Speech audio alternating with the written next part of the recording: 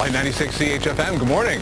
Well, good use of the eyebrows. pretty. Yeah. The only way to start your day. The best thing about doing a morning show is Yeah. you're finished at 9 o'clock. That's pretty good. And people always ask us, well, you must just run out and just play golf and, you know, have a great time and Have do all lunch. Yeah, Yeah. yeah, And, you know, they're right. They're right. Pretty yeah. much, yeah. Don, Joanne, and the coach in the morning. We're just like news anchors. You're naked Yeah. from the waist down. Yeah. like right now. Like right now. Whoa!